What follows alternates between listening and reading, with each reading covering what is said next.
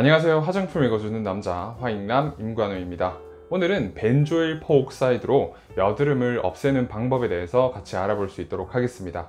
저는 여드름을 없애기 위해서 주로 benzoyl peroxide라는 성분을 활용하고 있습니다. 사실 이 benzoyl peroxide라는 성분은 한국에서는 의약품 성분입니다. 그렇기 때문에 화장품에 배합될 수 있는 성분이 아닙니다 그렇기 때문에 한국에서는 benzoyl peroxide라는 성분을 함유하고 있는 화장품을 구매하실 수 없습니다.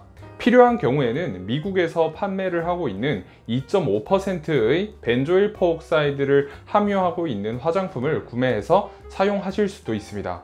그렇다면 한국에서는 이 benzoyl peroxide 성분을 함유하고 있는 여드름 치료제를 구할 수 없는 것일까요? 그것은 아닙니다. 한국에는 의약품에만 benzoyl peroxide를 배합할 수 있고 일반 의약품으로도 benzoyl peroxide를 함유하고 있는 여드름 치료제를 구매하셔서 사용을 하실 수 있습니다. 일반 의약품으로 관리된다는 것은 우리한테 어떻게 좋냐면 약국에서 의사의 처방전 없이 구매할 수 있다는 것을 의미하기 때문에 여러분들이 만약에 benzoyl peroxide를 함유하고 있는 여드름 치료제가 필요하실 때 구매를 하셔야 된다면 피부과 의사한테 처방을 받지 않고 약국에서 benzoyl peroxide를 함유하고 있는 여드름 연고를 구매하실 수 있다는 것을 의미합니다.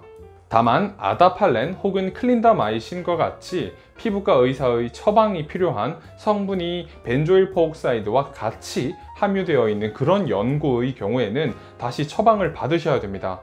왜냐하면 이러한 의약품들은 일반 의약품으로 분류되는 것이 아니라 전문 의약품으로 분류가 되기 때문입니다. 그렇다면 외국에서는 굉장히 쉽게 그리고 간편하게 구매를 할 수 있는 살리실산과 benzoyl peroxide 성분을 함유하고 있는 화장품들이 대체 왜 한국에서는 규제를 받게 된 것일까요?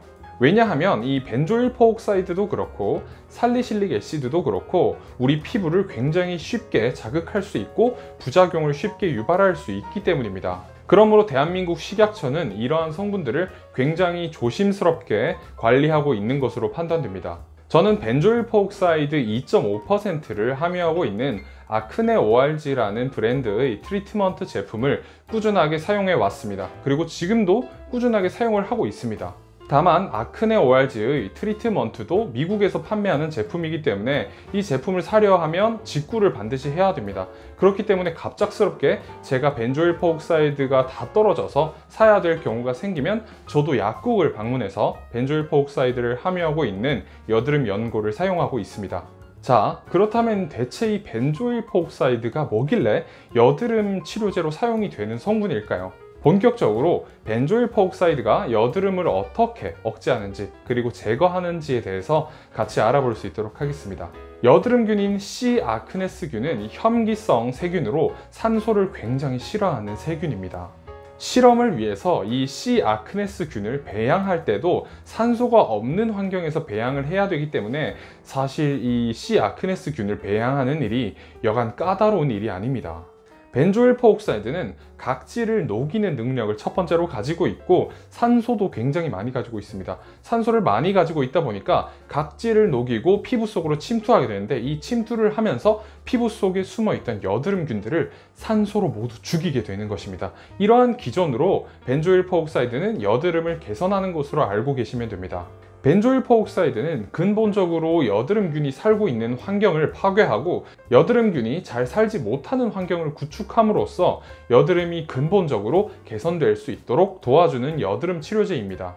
뿐만 아니라 이 benzoyl peroxide가 가지고 있는 각질 용해 능력은 각질을 부드럽게 계속 제거해주는 역할을 하기 때문에 피지가 정상적으로 분비될 수 있도록 도와서 whitehead나 blackhead가 피부에 잘 생기지 않도록 도와주는 역할도 합니다. 뿐만 아니라 작은 여드름이 염증성 여드름이나 화농성 여드름으로 악화되는 것을 막아주기도 하기 때문에 이 benzoyl peroxide가 가지고 있는 능력이 굉장히 많다고 할 수 있겠습니다. 그리고 우리가 각질을 녹이기 위해서 사용하는 BHA 성분과 benzoyl peroxide를 같이 사용하면 benzoyl peroxide와 BHA의 능력을 극대화시킬 수 있습니다. 시너지 효과를 내는 성분들이기 때문에 꼭 참고하시기 바랍니다.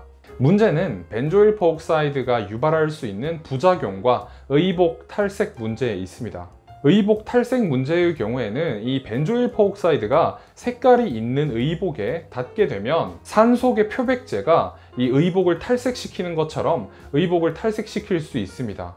그러므로 우리가 만약에 benzoyl peroxide를 얼굴이나 몸에 사용했다면 어, benzoyl peroxide를 바르고 있는 얼굴이나 몸이 이 색깔이 있는 옷에 닿는 것을 주의해 주셔야 됩니다. 그렇지 않으면 옷들이 다 변색될 수 있습니다. 부작용의 경우에는 처음 우리가 benzoyl peroxide를 피부에 사용했을 때 피부가 타는 듯한 작열감과 홍반 등의 부작용이 유발될 수 있습니다. 그러므로 benzoyl peroxide를 처음 사용하시는 분들은 이 benzoyl peroxide를 여드름 부위에만 콕 찍어서 발라주시는 것이 좋습니다. 만약에 benzoyl peroxide를 바른 부위가 굉장히 붉게 달아오르거나 혹은 붓거나 심한 경우 바른 부위가 아니라 눈이나 피부가 건조한 부위가 다 붓게 되는 경우도 있으므로 이러한 부작용이 유발되면 당장 사용을 중단하시기 바랍니다. 피부가 매우 민감한 경우에도 benzoyl peroxide를 사용하면 알레르기성 접촉 피부염을 유발할 수도 있으므로 이 benzoyl peroxide를 사용하실 때는 굉장한 주의가 필요합니다. 저도 처음에 benzoyl peroxide를 사용했을 때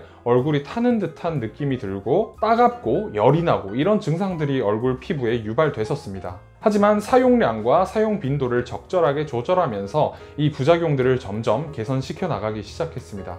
또 얼굴 전체에 benzoyl peroxide를 바르는 게 아니라 처음 사용할 때는 benzoyl peroxide를 여드름이 유발된 부위에만 콕 찍어서 발라줬습니다. 특히 benzoyl peroxide를 사용하고 제대로 말리거나 흡수시키지 않고 그 다음 단계에 바로 보습제를 사용하게 되는 경우 이 보습제와 benzoyl peroxide가 같이 섞여서 피부를 굉장히 심하게 자극할 수도 있습니다.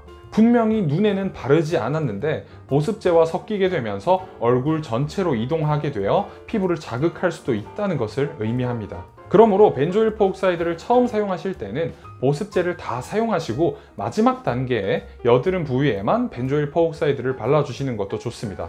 이렇게 하시면 보습제로 benzoyl peroxide의 흡수력을 줄이게 되면서 피부에 대한 자극을 줄일 수 있습니다.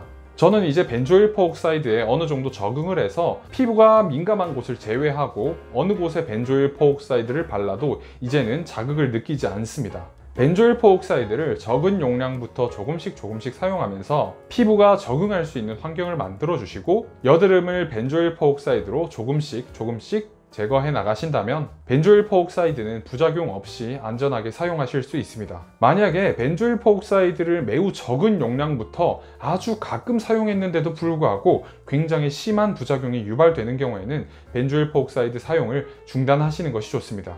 그리고 만약에 benzoyl peroxide를 사용하고 나서 심각한 부작용이 유발됐다면 참지 마시고 반드시 가까운 피부과 전문의 병원을 찾으셔서 치료를 받으시는 것이 좋습니다. 저는 benzoyl peroxide를 잘만 사용하면 정말 괜찮은 그리고 정말 좋은 여드름 치료 성분이라고 생각합니다. 왜냐하면 제가 이때까지 benzoyl peroxide에게 정말 많은 도움을 받았기 때문입니다. 그리고 정말 많은 분들이 제가 이 benzoyl peroxide 사용을 한번 권해드린 적이 있었는데 직접 benzoyl peroxide를 사용하시고 피부가 정말 많이 개선된 그런 사진들을 많이 올려주고 계시기 때문에 이 benzoyl peroxide를 아직 사용해보지 못한 분들은 한 번쯤은 사용을 해보셔도 좋을 것 같습니다. 여드름을 없애는 성분 그리고 여드름을 없애는데 도움을 주는 연고와 관련된 콘텐츠는 앞으로도 계속 이어질 예정입니다. 감사합니다. 오늘도 화장품 읽어주는 남자와 함께 꿀피부 되시길 바랍니다.